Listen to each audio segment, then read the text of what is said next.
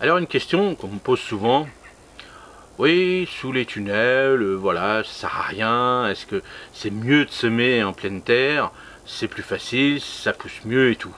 Alors, la question d'aujourd'hui, c'est semer en pleine terre sous abri, en plaque ou en godet, quelle méthode choisir? Eh bien, on va lire l'article, et puis on va se faire son opinion à la fin. Alors, semer en pleine terre, retour aux sources. Naturaliser. Le semis direct en pleine terre suit, suit le cycle naturel des plantes. Il est idéal pour les espèces qui n'apprécient pas le repiquage ou dont les racines sont sensibles aux perturbations. Les carottes, par exemple, ça n'a rien de les faire en godet ou en plaque ou machin. Voilà, toutes les grandes racines assez longues, faut mieux, c'est vrai, les semer en pleine terre.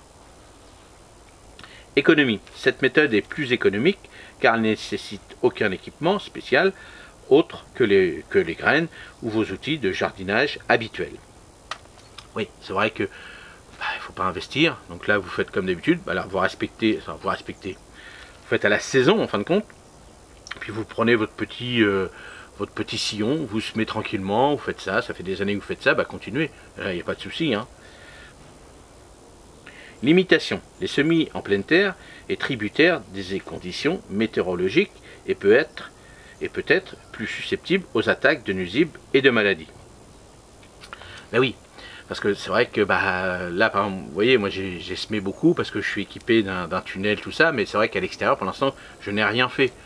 Mais c'est pas le but du jeu, hein. on n'est pas à la course à l'échalote, comme on dit. On prend son temps, on sait que bah, depuis euh, des dizaines d'années, on fait comme ça. Et puis euh, quand on voit beaucoup de vidéos où les gars ils investissent dans des trucs et tout, c'est bien ou c'est pas bien, peu importe, on s'en fiche. Si vous, ça vous plaît comme ça de faire vos sillons comme d'habitude à partir du mois de mars en fonction de vos régions, il n'y a aucun souci. Semis sous abri, protection et précocité. Protection. Les abris offrent une protection contre les aléas du climat et permettent une germination dans toutes conditions plus contrôlées. Saison prolongée. Ils permettent de démarrer la saison de culture plus tôt en offrant un environnement plus chaud pour les semis. Investissement nécessite un investissement initial pour l'installation des abris, serres, tunnels, etc.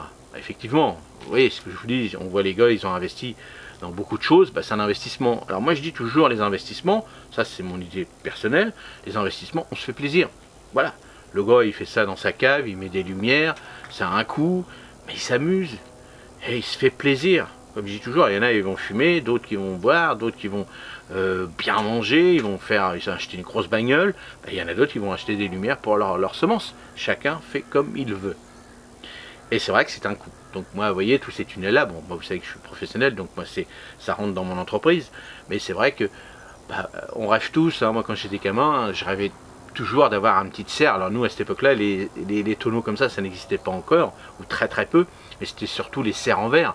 Donc alors imaginez-vous une serre en verre avec de... Alors c'était en ferraille encore, donc c'était pas encore en alu.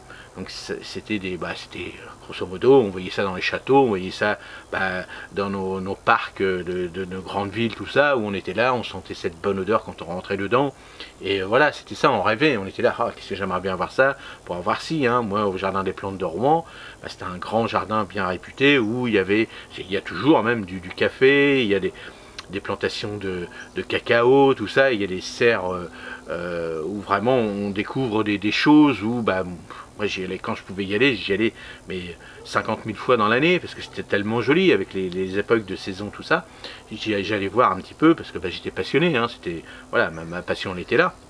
Et puis bon, on discutait avec les jardiniers, voilà, on, c'était bon, le, parc est toujours aussi magnifique, hein, il n'y a pas de souci, mais vous voyez cette odeur, euh, ce qui est important quand on rentre sous nos tunnels, cette odeur de, bah, de, fraîcheur, de, champignons, de terre et tout, ça c'est. On n'oublie pas ça. Et euh, ça, pour ma part, moi j'adore. Alors les semis en plaque ou en godet, contrôle et flexibilité. Contrôle permet un contrôle précis du développement de chaque plante, facilitant la gestion de l'espace et la rotation des cultures. Mobilité, les plaques et godets peuvent être placés, peuvent être déplacés pour optimiser l'exposition à la lumière, et la protection contre le froid. Coût et effort, cette méthode requiert un investissement en matériel et un effort supplémentaire pour le repiquage des plantules en pleine terre.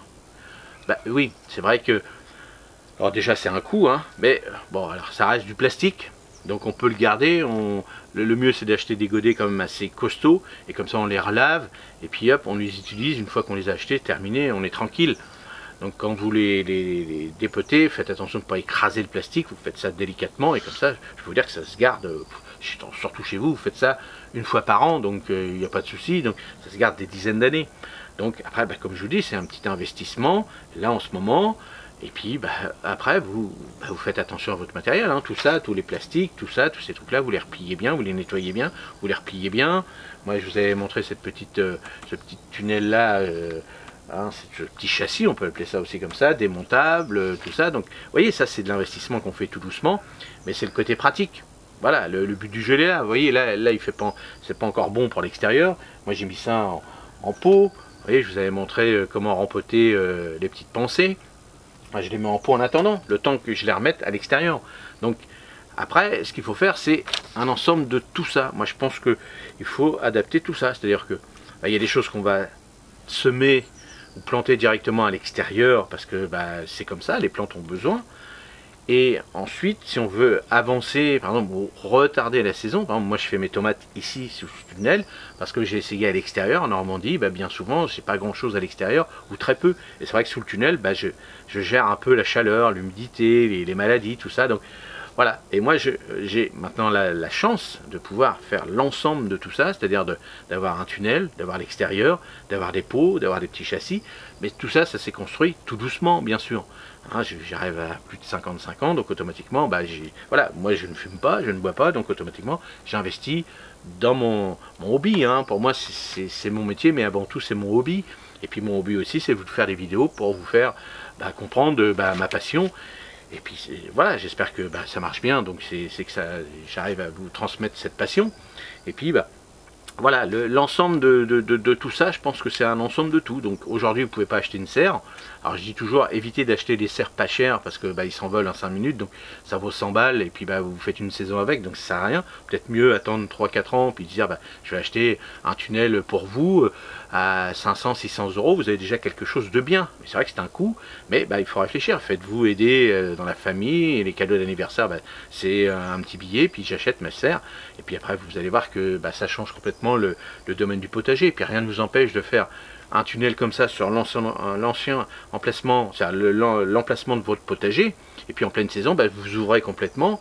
Et comme ça, ça vous fait toujours la, même surface de votre potager, mais vous euh, commencez la saison à protéger, et en fin de compte, ça fait comme un grand tunnel nantais, mais un grand, vous pouvez rentrer dedans, vous préparez vos sols, vous avancez, puis en la pleine saison, vous retirez le plastique, et puis vous le remettez en fin de saison, c'est-à-dire fin septembre, vous remettez votre plastique, et comme ça, bah, vous prolongez votre saison du potager. Allez, dites-moi dans les commentaires ce que vous en pensez et ce que vous faites vous. Allez, à la prochaine, merci.